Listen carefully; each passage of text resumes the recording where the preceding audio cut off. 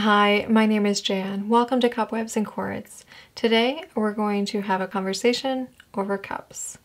Today's cup is going to be filled with tea and the conversation is going to be about these books.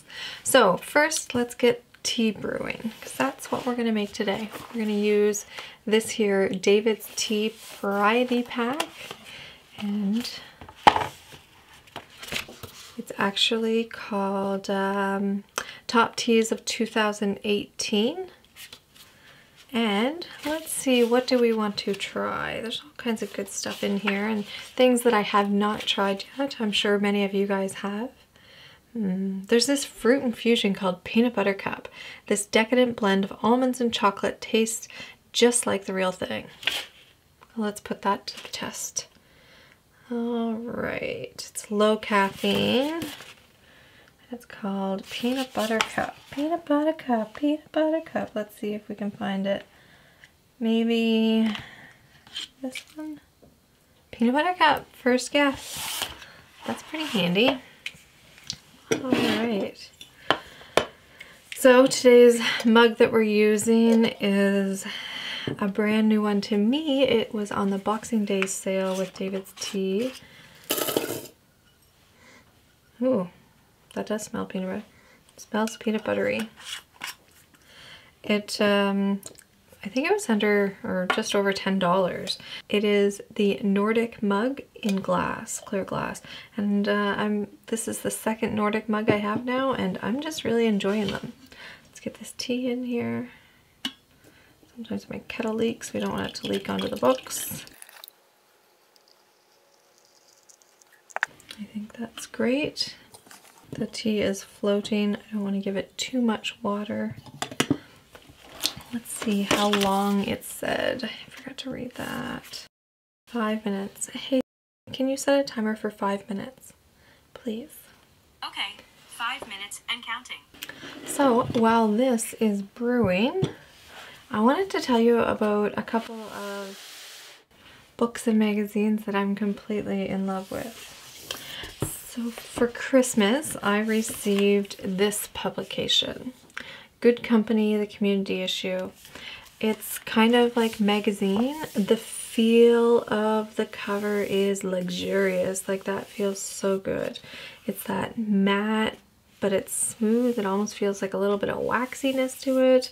So my hands are very dry today, but it doesn't even feel it. So that is great. Throughout the magazine is just stories among stories among stories. Like there's no ads. I don't see ads. It's wonderful. So that's where it's like a book, but it's kind of like magazine. I don't know, what do they call these? Zines? It is wonderful. So I received this, like I said, for Christmas. And um, I found out that they were doing one magazine or book every six months. So the second one was out, so I rushed out and ordered that one right away because I wasn't quite sure if they were like limiting the number of runs or not, if it would be like a normal book or not just got this one yesterday and I can't wait to really dive into it. Like, so where do these Good Company magazines come into play with In the Company of Women? I think this is probably my favorite book. Absolutely, hands down favorite book. If you, especially if you're a female and you're wanting inspiration about, you know, creativity and entrepreneurship. It's just perfect. So with this book, I got this book last year and I actually, I, ooh, ooh, difficult to show you guys. I actually went through and I read this book front to back. Like I didn't skip around or anything like that. I woke up every, you know, weekend morning and I got a cup of drink of, you know, it was probably coffee on the weekends in the morning. I do enjoy one cup of coffee in the morning and then I usually switch to tea. So as you can see though, I highlighted things that like spoke to me.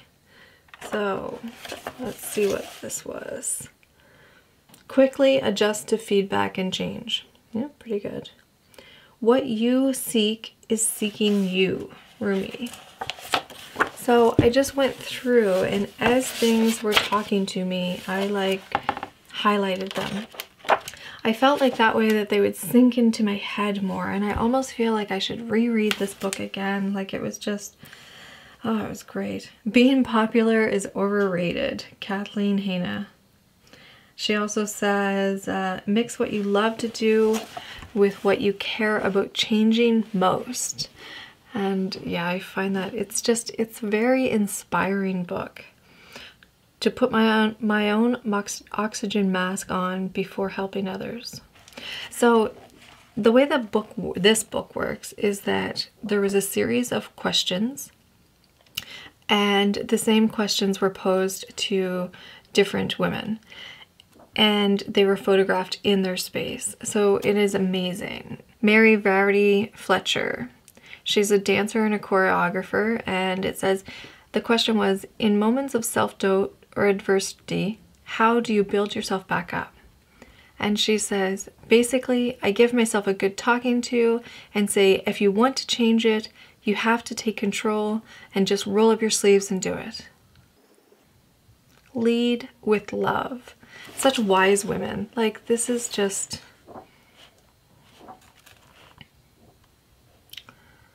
You can't do it all. You need to choose what's most important to you and go after it.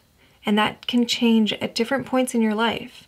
So it's important to be flexible and to react to the moment. Put your efforts towards the things that are important to you and that you do best, the things that only you can do. It's, this, this book is life-changing. I really enjoyed it and I'm very excited about these magazines. And I'm buzzing, so that means our conversation time is up. Let's have a taste of this tea. What do you guys think? Have you tried it? Do, do, do, do, do, do, do, do, do. Hmm, smells weirdly peanut buttery. now remember this is David's Tea Peanut Butter Cup.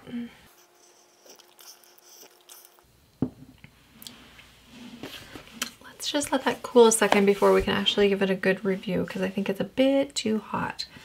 Now this here book, uh, In the Company of Women, so it says inspiration and advice from over 100 makers, artists, and entrepreneurs. It's by Grace Bonney. She's the founder of Design Sponge.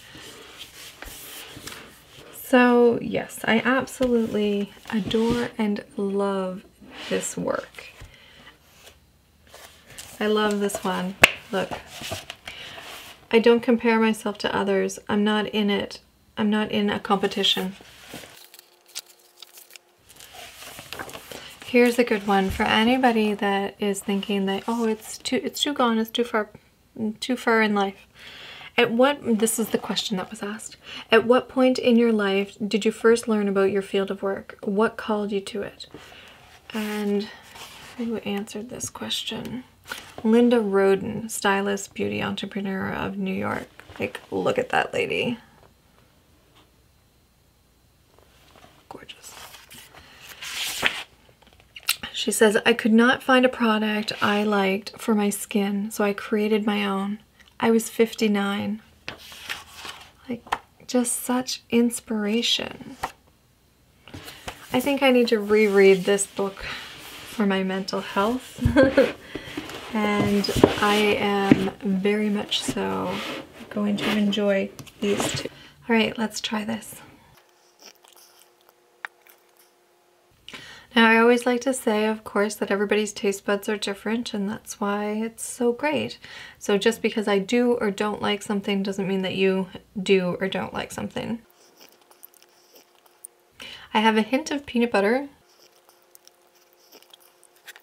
It's not bad. It's nice and warm. Yep, not bad. Nothing I would seek out. Let's just leave it at that. So I hope you're able to find one of these books or magazines or a cup of tea to enjoy today. If you like this video, it would be very helpful if you give it a thumbs up for me. and it would be especially delightful if you subscribed. So hit the little subscribe bell down there. Until next time, take care.